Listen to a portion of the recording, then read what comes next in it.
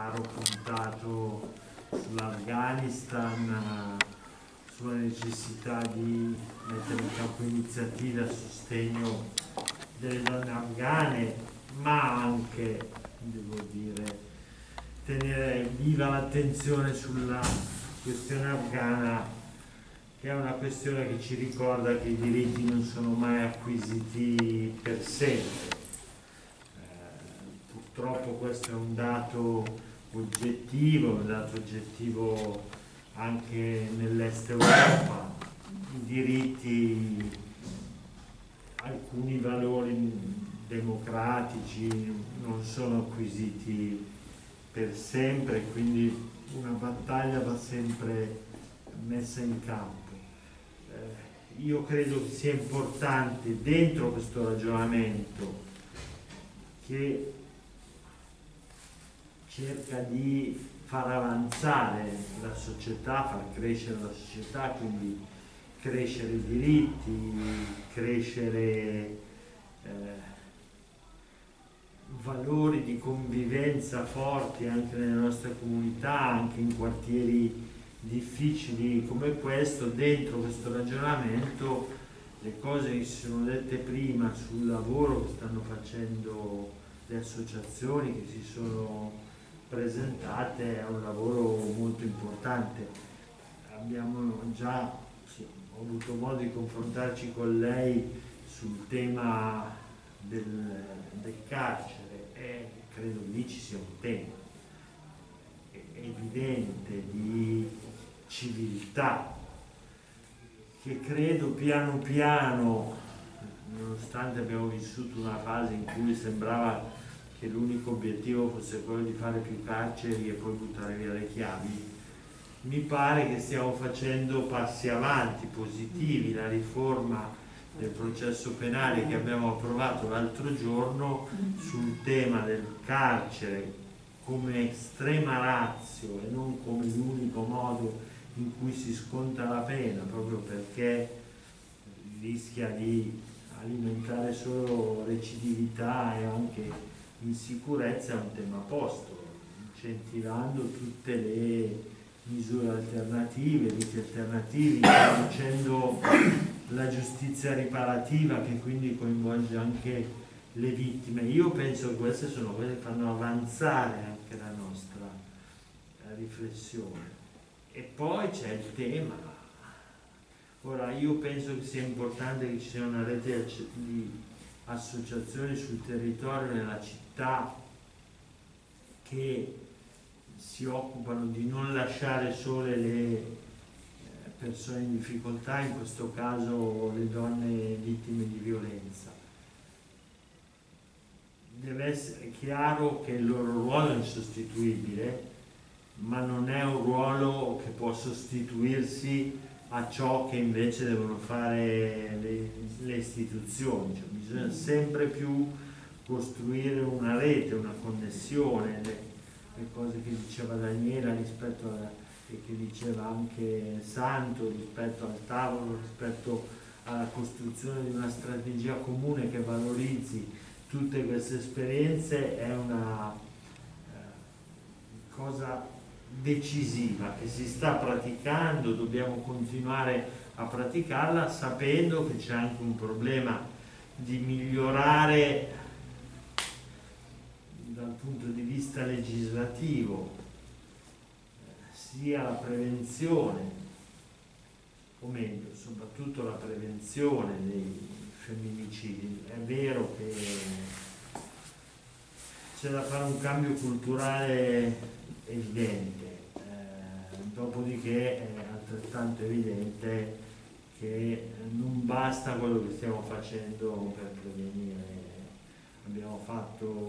una legge importante, il codice rosso, eh, deve funzionare meglio. Adesso stiamo introducendo alcune eh, ulteriori norme per la formazione delle forze dell'ordine perché non si ripetano i casi in cui una persona si è rivolta alle forze dell'ordine, è stato sottovalutato il problema e poi è stata vittima di femminicidio, credo che ci sia bisogno di eh, maggiore attenzione e di applicare fino in fondo eh, la legge. Il cambio culturale serve anche a, a, portare le donne a denunciare, perché sono ancora troppe quelle che non, che non denunciano. E credo che abbia ragione Arianna sul fatto di dire che questo fenomeno è un fenomeno che attraversa eh, la società al di là del, del livello di reddito, del livello culturale. Certamente nelle fasce più deboli della popolazione eh, ci sono meno anticorpi e quindi è più possibile, se non probabile, che eh, si arrivi a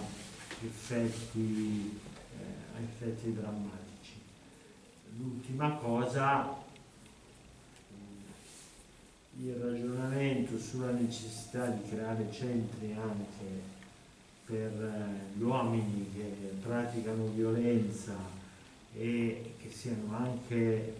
uno strumento che la legge può utilizzare per eh,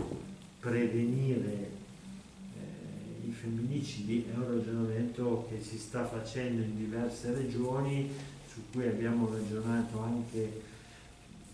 facendo l'ultima riforma del diritto civile in cui ci siamo occupati di diritto eh,